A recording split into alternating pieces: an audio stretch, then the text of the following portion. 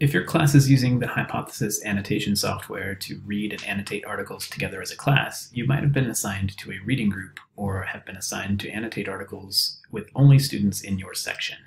This is what that looks like in Canvas. So here's an, a hypothesis assignment with instructions, and the instructor has indicated that this needs to be loaded in a new tab. The article will open in a new tab, so you see the PDF, you could resize the hypothesis window by clicking and dragging to get bigger or smaller. If you need to zoom out to see more of the PDF, you could do so here.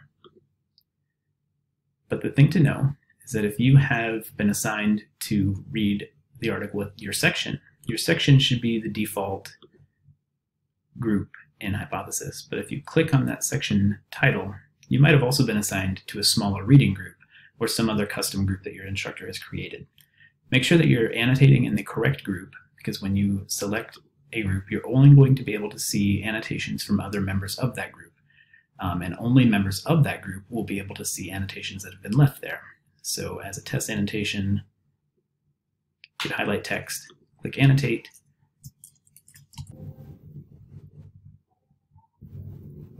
click post to reading group, and you're done. Now others in that reading group can see and respond to my annotation, but if I switch back to my section, of course no one else can see what was happening in that reading group. So just make sure that you're annotating in the correct group if in fact you are a member of more than one. Have fun!